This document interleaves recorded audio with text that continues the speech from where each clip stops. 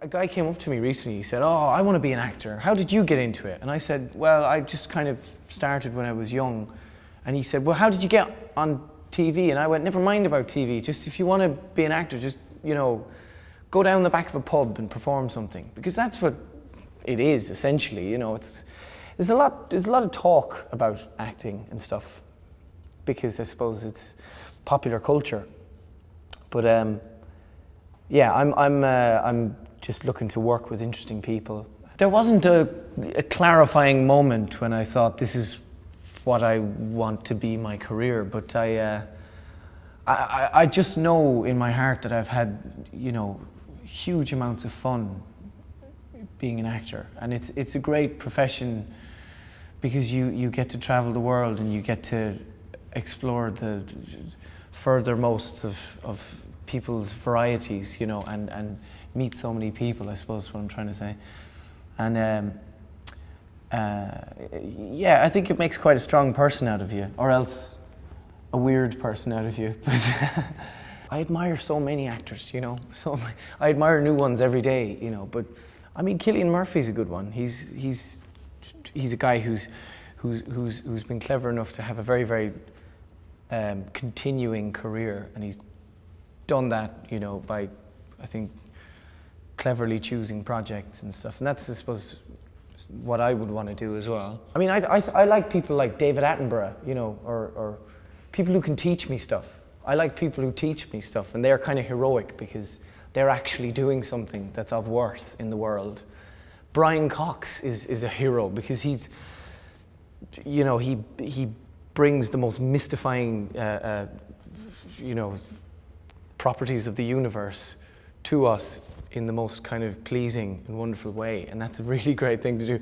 I mean, hero is quite an epic word, you know, but, but he's interesting. I just like very, very interesting people. No, no, I, I, I don't fancy myself as a heartthrob. If I did, I think I'd be more of a twat.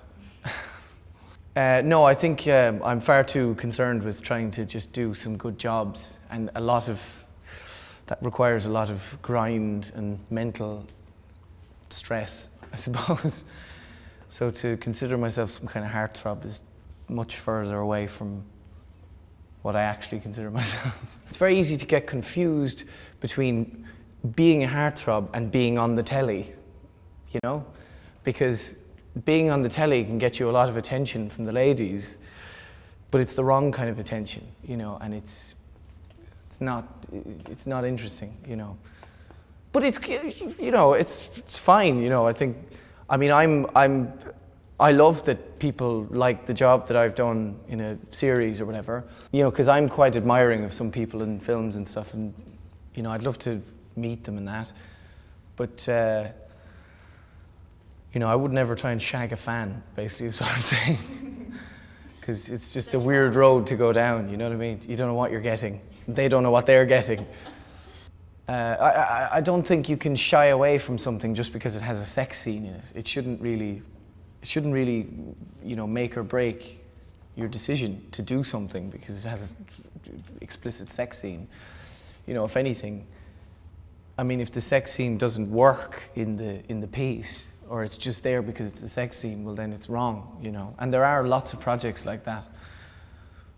But uh, as regards, to, I, I don't really mind doing sex scenes. It's it, the thing about a sex scene is it's the least sexy thing you'll ever do in your life. Because bear in mind, there's you and the girl or the guy or whatever, and 14 or 15 crew all around you recording your sound and recording your bits. You know what I mean?